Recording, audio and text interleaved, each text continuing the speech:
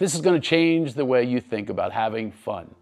There is so much to having fun that we don't really explore. 2004, Boston Red Sox. They had a, curse. They called it the curse of the Bambino. It was Bucky Dent. It was Bill Buckner. All these problems they were having that they could not win a World Series.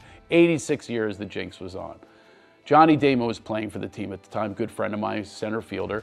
And they came out to play the Angels. I said, go get them, Johnny. And they were playing the Yankees, the dreaded Yankees. They couldn't get past them. Well, sure enough, they were down 0-3 in a best of seven series. And I called Johnny up and I said, listen, Johnny, play my DVD in the clubhouse. I came up with a new DVD. I said, just play it, see what happens. Because I know what laughter does for people. So he did. He played it. They had a great time. They all laughed in the clubhouse. They had nothing to lose at that point, but they had everything to gain. So they went out and they had fun and they, they ended up winning a historic game, a big comeback they had. And that was game four, then game five, then game six, and game seven.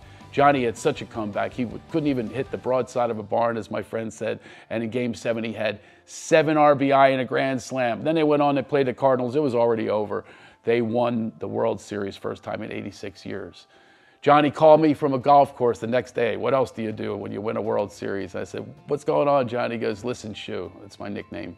He goes, A lot of great teams out there, maybe even better than we are, but we had the most fun.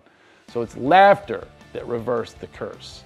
You need to have more fun. You can reverse any curse you're under, any dark days, anything to do with business, anything to do with your personal relationships. Everything can shift once you start laughing, once you learn how to make people laugh, and once you enjoy your life. Winning with humor, that's what I teach. I'll teach you how to be funnier and have, have more fun. Come join us, it's a great course. Click the little link right there, has all the information you need, and come win with us.